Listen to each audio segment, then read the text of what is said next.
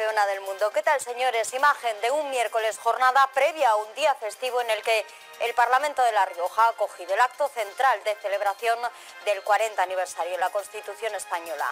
Lo más importante que trajo la Constitución fue la igualdad y sobre todo el espíritu de consenso. Destacaría que fue el origen para la modernización de toda la sociedad española. El valor de la libertad. Yo me quedo con la de soberanía nacional. Los ciudadanos han tomado la voz para reivindicar el papel de la Carta Magna en la construcción de la democracia. Los discursos institucionales han reclamado que su reforma respete su esencia. No deberíamos aspirar a modificar la Constitución sin consenso o perder igualdad como les decimos, el Parlamento no ha querido que en el 40 aniversario de la Constitución la celebración se quedase en un acto institucional más y por eso hoy ha cedido el protagonismo a los ciudadanos. Una representación de ellos, 40 riojanos que destacan por muy diversas facetas, han tomado la palabra para poner en valor la Carta Magna Española.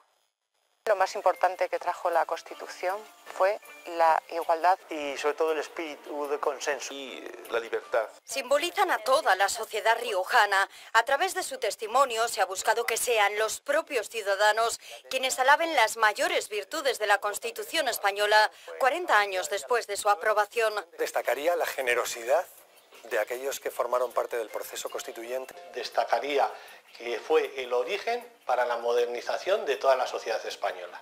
El valor de la libertad. Si hay que quedarse con una palabra, yo me quedo con la de soberanía nacional, que son dos. En el acto que hoy ha acogido el Parlamento de La Rioja para conmemorar la onomástica, entre todos han dado forma a un mosaico que recoge esos valores, igualdad, libertad, consenso. Valores que también ha puesto de relieve el presidente del Gobierno y que ha destacado como intocables ahora que la reforma de la Constitución está sobre la mesa. Parece evidente, por lo tanto, que los cambios, de haberlos, no deberían de lesionar las principales virtudes y beneficios que nos ha dado la Constitución. Es decir, que no deberíamos aspirar a modificar la Constitución sin consenso o perder igualdad Himnos y foto de familia de los protagonistas han puesto el broche final a un acto en el que instituciones y sociedad se han unido para reivindicar todos juntos el valor de nuestra Carta Magna.